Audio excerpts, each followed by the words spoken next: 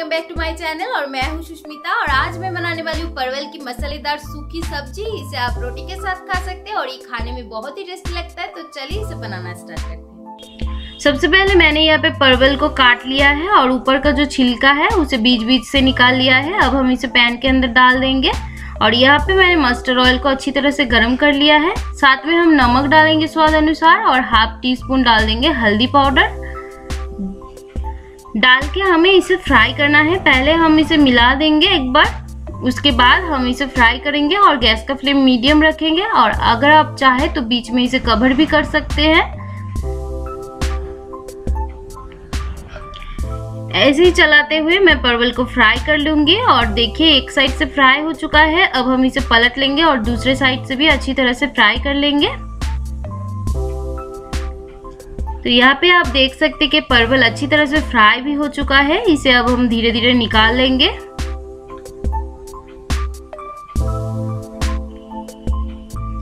इस रेसिपी में परवल को हमें थोड़ा अच्छी तरह से फ्राई करना है।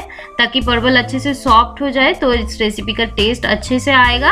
अब हम इसी तेल के अंदर डाल देंगे हींग हाफ़ टी स्पून और एक छोटे चम्मच जीरा, साबुत जीरा डालेंगे और इसे कुछ सेकंड्स के लिए फ्राई करेंगे। साथ में हमें इसके अंदर एक सूखी मिर्च डाल देना है तोड़ के।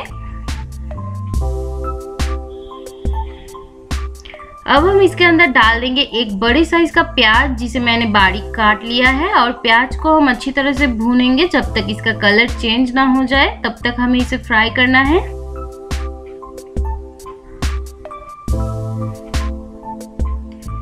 देखिए, प्याज अच्छे से सॉफ्ट हो गया है। अब हम इसके अंदर डेढ़ चम्मच डाल देंगे अदरक लहसुन का पेस्ट। साथ में मैंने इसके अंदर दो हरी मिर्च भी डाला है।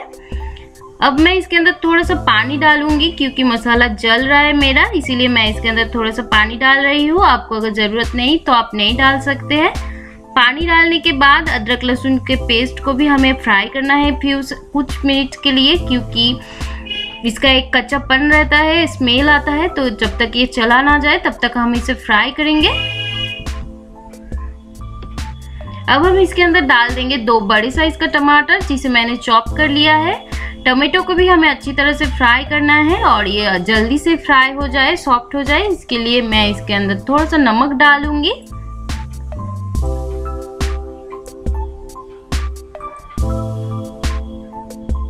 नमक डाल के इसे हमें फ्राई करना है, टमेटो जब तक गल जाए तब तक।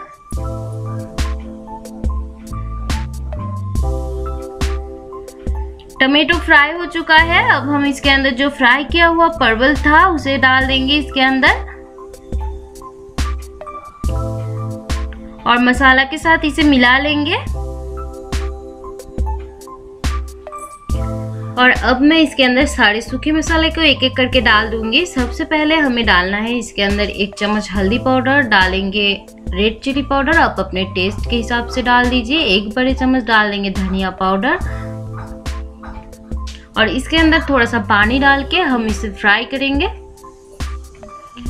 पानी इसलिए डालेंगे क्योंकि अच्छे से परवल के ऊपर कोट भी हो जाए और मसाला हमारा जल, ना जले, इसीलिए हमें थोड़ा सा पानी इसके अंदर ऐड करना है और मसाला को अच्छी तरह से कुछ देर के लिए फ्राई करेंगे।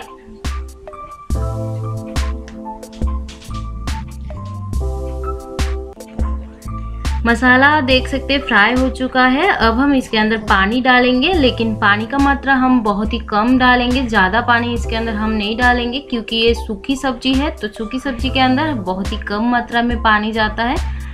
तो बहुत ही कम पानी डाल के मैं इसे मिला लूँगी, और इसे हमें पाँच से छः मिनट के लिए कवर कर देना है, या फिर जब तक परवल पक ना जाए, तब तक आप इसे कवर करके पकाए। तो मैं इसे कवर कर लूँगी। कुछ देर बाद इसका कवर हमें हटा लेना है और देखिए परवल एकदम पक गया है और ग्रेवी भी ठीक है। तो हाई फ्लेम में हम इसे कुछ देर मिला लेंगे ताकि ये अच्छे से सूख जाए, पानी इसका जितना बचा है।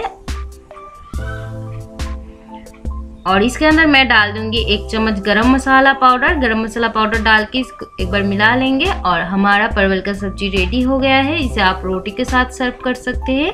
ये खाने में बहुत ही अच्छा लगता है, इसे आप अपने घर पे ज़रूर ट्राई करें। रेसिपी पसंद आया तो रेसिपी को लाइक करें और मेरे चैनल को सब्सक्राइब करना एकदम ना भूले। तब तक के लिए बाय बाय